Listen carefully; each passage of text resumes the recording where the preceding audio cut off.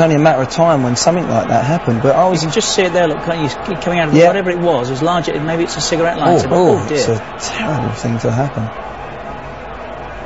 I mean, makes us look. Look, there he is in the back. that He was second down the tunnel. That's Yeah, how you late it was see- sending off.